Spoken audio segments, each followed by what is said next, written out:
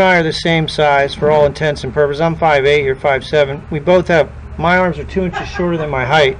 My forearm is longer than my upper arm, the same as yours. One of the things that you do with speed is create spin.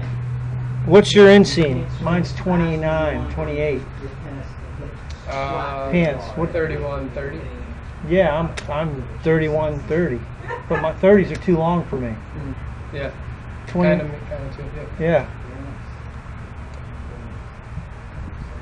So there's where I want your swing, and you're very close. Look how my club face.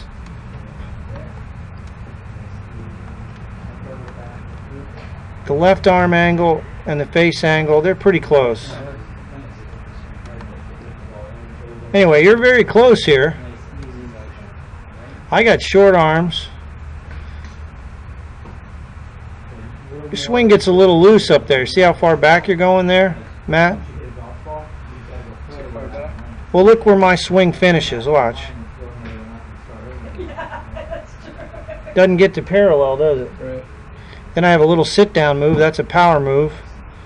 Then I'm going to explode into it, turn through it. But what you'll find with my golf swing is the shaft of the club, the established angle when I address the ball,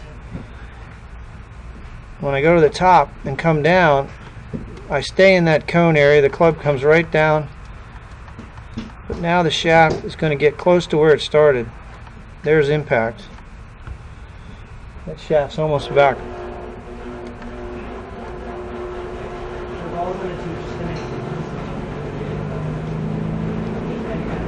See your right knee kind of shoots out toward the ball a little bit? Yeah. That's something we'll work on in the future, but not tonight. I want you to get the backswing tonight. But you see how my right knee doesn't go toward the ball as much as yours does? Yep. So you get confident when you do it.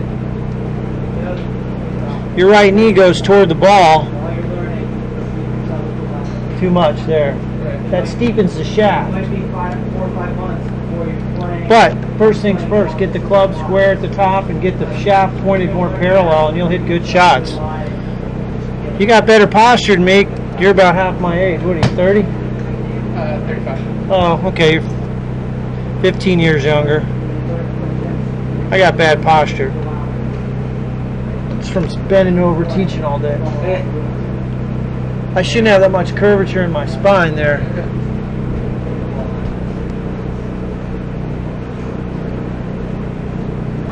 All right, so you're on the right track.